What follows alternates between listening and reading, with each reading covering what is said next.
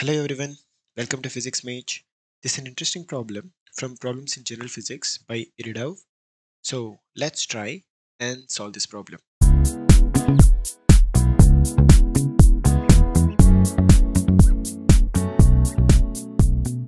So everyone, this problem if we want to try by using successive reduction method, meaning recognizing resistors in series and parallel and simplifying it, it becomes very difficult. So if you use any other method also like using KVL, KCL or nodal analysis, it becomes difficult. So there is one way to solve this problem, meaning using some kind of simple approach to solve this kind of complex problem. Let's try and learn that method. We call that one as superposition principle. First, we will learn what is superposition principle by using simple example. Then we will try to apply that logic to solve this problem. Okay. So what is the superposition principle? Suppose if you consider there is a resistor here, let's say R resistor, which is connected to the cells now here. Let's say there is one cell whose voltage is V. Now we know that if I amount of current is flowing through this and I amount of current has to come back so that it will form a closed circuit. So battery is just driving the charges. Okay. So current through this circuit is given by V by R meaning indirectly we know that R is equal to V by I. Meaning by any chance if we know the like voltage drop we are giving across these two points I'll be calling this one let's say X and Y. Suppose if you know the voltage drop across X and Y as V and current entering the X and current coming from Y is I if we divide that then we'll get resistance of the entire system across this point x and y correct? So this is our basic understanding. Now let's give some numbers to make it much more easy to grasp okay? Let's say this resistance is 5 ohms and this voltage supply voltmeter voltage supply potential drop that is let's say 10 volts okay? If that is the case then i is going to be 10 by 5 it is 2 amps of current will flow through the circuit. Okay so this is kind of easy to understand thing right? Now what we'll do is this. Suppose if we are considering the equivalent circuit we can divide this one into two parts. Let's say let me write like this. There is a resistor R. I'll be considering this cell is divided into two parts let's say. This is V by 2 and V by 2. Still, if we find out like current flowing through the system, if this is 5 ohms and this is 5 volts now and 5 volts, still current is going to be 2 amps only. Correct? By using KVL, you can easily approach that.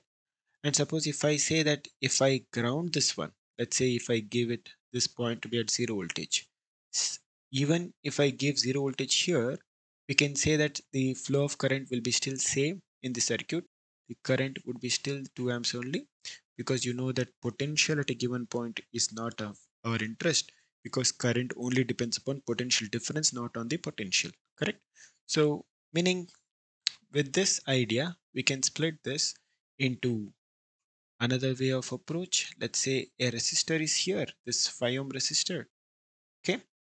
And there is a cell here like positive negative. This is grounded let's say. This is 5 volts and we have one more cell here negative. This is 5 volts connected to a thing like this. So you know that if we are connecting these two terminals to the zero voltage zero voltage you know that these two are at same potential. It is as good as a closed circuit. If it is a closed circuit you know that current flowing through the system is going to be 2 amps. Same story. Now meaning we can say that if I ignore first cell and consider only second cell. Meaning if I name this one as A and B let me say A is present in the system. A is A's effect okay? A's effect ignoring B. A's effect ignoring B if you consider it will be 1 amp towards right side. Similarly B's effect ignoring ignoring A if you consider still it is going to be 1 amp towards right side so we can say that the total current is going to be still 2 amps meaning you can individually consider their contribution. So this idea we call it as superposition principle, superposition idea. Okay. So once we get this idea, let us consider one more setup to apply this logic to our given problem. Okay. Suppose if I am ignoring this particular cell, if I'm ignoring this cell, the system will look like this. We have like a cell here and a resistor here, 5 ohm resistor, 5 volt cell. This is grounded. Okay. And even this would be grounded, meaning I am ignoring the cell here. Got it? So this is what we have. Now, in the second situation, suppose this is ignoring, meaning B is absent. B is absent. Okay. B is absent. This would be the story. Now suppose if A is absent, we'll have this is connected to zero potential. Let's say there is our cell and we have negative potential connected here like this and this is connected to zero volt. Now we know that in the first scenario the current flowing through the cell is 1 amp even here in the second cell it is going to be 1 amp. Meaning if we combine these two it appears like this. If you combine these two meaning I'll repeat. Suppose if you call this as figure 1 and this is figure 2 suppose if you combine figure 1 and figure 2 you will get figure 3 and figure 3 you know that current flowing through this is 2 amps. Meaning this figure 3 is equivalent to figure 4 here which we have drawn. And we can even rewrite this one as figure 5 here. Meaning these all networks are one and the same. We are looking in different ways. That's it. So if you have this basic idea we are going to use this logic in our so-called given problem and apply and get the value of the entire system's resistance about x and y. Let's plan that. Now suppose if you look at the system now we have bunch of resistors let me call every resistor here they have given it is r capital r is the resistance let's say. Just drawing few resistors to get a better idea of how things are. They are all of resistance r each. Now if this point is considered as x and this point is considered as y. As of now I'll be considering only this X is connected to positive terminal of the battery and negative terminal of the battery is connected to like say ground okay? So there is no connection given to the Y okay? Now let me call this one as V by 2 as the voltage supply given to it. Now we know that if this is only given the current entering the circuit if I amount of current is entering the circuit okay so this one will be divided into like number of current parts depending upon the effective resistances. But if you look at this system in every direction, meaning if you think of any direction here, let's say either in this direction or in this direction or in this direction or even right side, in every direction the resistors are like infinite, right? Meaning very large resistances. So voltage keeps on dividing as the number of resistors are more and more. So you can imagine as if like say after like large number of resistors are considered in our circuit, the voltage will become almost equal to zero, meaning voltage consumption becomes like almost like entire system voltage is consumed. So here we can expect to be connected as if it is earth meaning since voltage is consumed completely at infinite resistance configuration we can say that the periphery is almost equivalent to grounding case okay so that is considered here if we consider this then current will be equally splitting in all the directions correct? If current is equally splitting in all the direction we can say that I amount of current is entering and I by 4 current will be splitting in all the direction because of symmetry.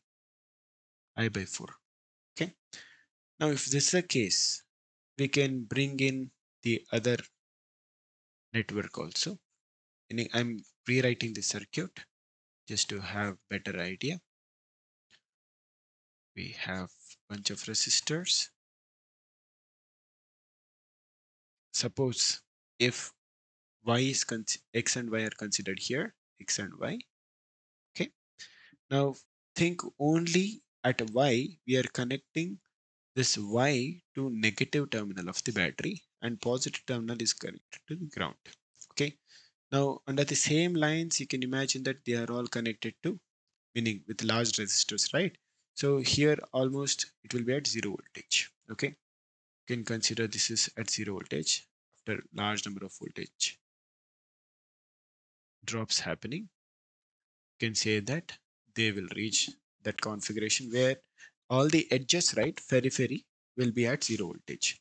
Now if from our given symmetry if I amount of current is entering with V by 2 voltage drop here so this is exact same situation here but since it is opposite polarity I amount of current is drawn from the network with V by 2 voltage drop here okay?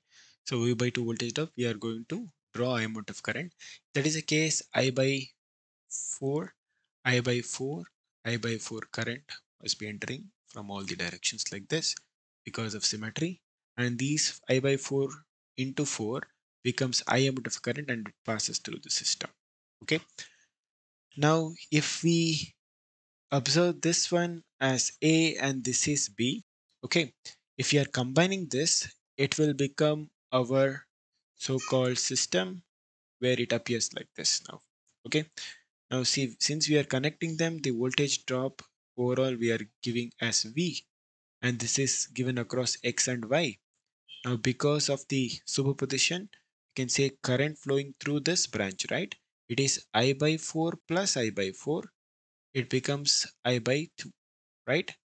Now you can imagine the entire overall system resistance as this.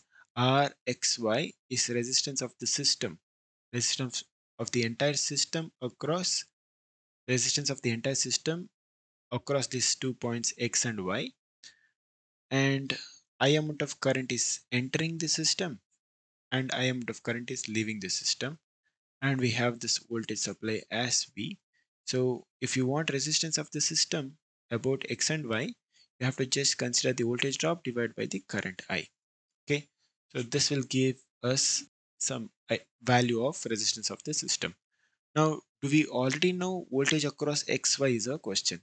See voltage across xy by using superposition principle we can get it now we know that i by 2 is the overall current is flowing between x to y and the resistance is r. So it is going to be ir by 2 now vxy by i is resistance of the system and that turns out to be r by 2 okay? So that would be our answer for this problem. Okay? Now instead of x and y if they ask between x and z let's try that also.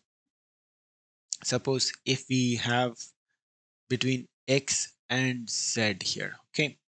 Then how do we solve this problem? Again ignoring the one of the cell we can consider only the current entering here as i and here it is going to be i by 4 and i by 4 is entering. It will split equally in all the direction because of symmetry. It is going to be i by 12 in this way i by 12 in this way and i by 12 in this way okay so here we know that it is i by 4 i by 4 like this and i by 4 just for for consideration i'm writing all these things now, if we ignore the cell, say we are considering this cell, we have considered and this was the given configuration. Now let's consider the other cell. If you consider only this cell, V by 2, the green one.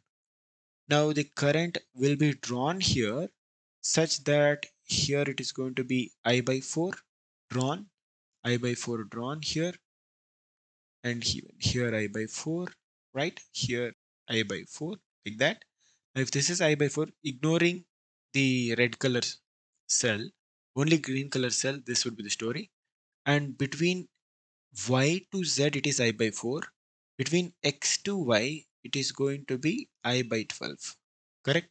So now if you consider both of them together meaning if you see like the superposition of it superposing if you consider superposition of cells and now apply k kvl kcl you can say potential at x and here i by 4 plus i by 12 will be the current flowing through this. So you can write it as minus r is the resistance. I by 4 plus i by 12 is running. I by 12 this is passing through x to y. Then from y to z same story minus r times y to z. Because of like red color cell it is i by 12 because of green color cell it is i by 4 this is what we have. That is equal to potential at z. So potential at x z is going to be potential at x minus potential at z is potential difference between x and z. That is going to be r times so meaning 2 times of r i by 4 plus i by 12 so you can easily simplify this.